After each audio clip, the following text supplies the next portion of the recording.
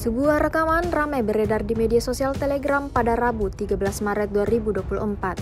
Dalam rekaman tersebut memperlihatkan detik-detik artileri Rusia menghancurkan kelompok pengintai sabotase angkatan bersenjata Ukraina di dekat perbatasan Turia.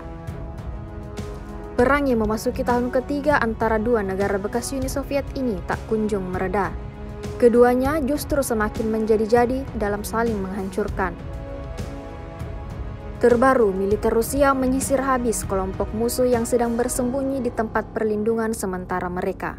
Rentetan serangan yang diluncurkan mengakibatkan terjadinya ledakan berkali-kali, seperti yang terlihat dalam rekaman.